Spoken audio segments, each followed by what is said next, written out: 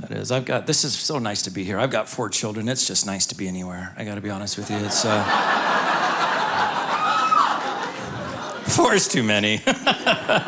right? Two you can handle, one in each hand, right? You can control that.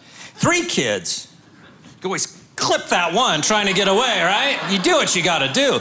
Once you have four kids, it puts you in a whole new automotive category, right? Who by applause? Who in here has four more children? By applause. Yeah, right? You can't have a normal car. You can't have just a front and a back seat. You now have to have the third row. And you can't reach that one in the back. they need to be reached once in a while, you know? I think timeout, timeouts, really, I think our prisons are full of timeout kids. Don't you? Right? A few more kids without a swat on the butt, maybe they wouldn't be in there, right?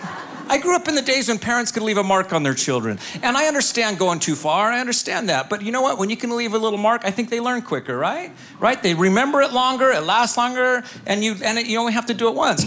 I, I, you get a cigarette burn, you don't sit in your dad's chair anymore, do you? Right? I still won't sit in my dad's chair. I remember. Oh, that row in the back, right? And then we didn't mouth off to my mom if we were in the back seat either, because my mom had that sweet, that reach around. I remember sitting in the back seat thinking, she can't reach me here. And wow, right?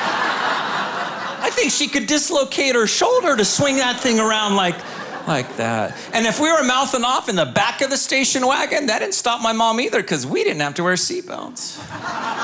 Oh, yeah, we're mouthing off in the back. My mom would hit the brakes, skid that car through an intersection, slide us to the front, and then beat the crap out of us, because that's how it was back then, right? I know.